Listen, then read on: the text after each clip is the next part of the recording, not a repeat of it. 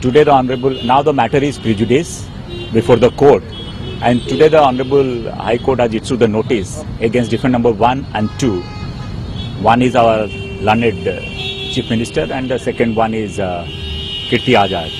It's a defamation suit, civil defamation suit. And the notice was issued to both the defendants.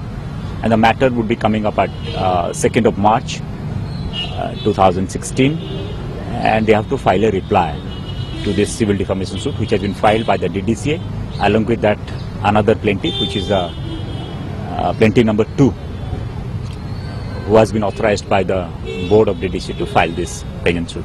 Our client was aggrieved by this statement made uh, in recent past for which this civil defamation suit was filed.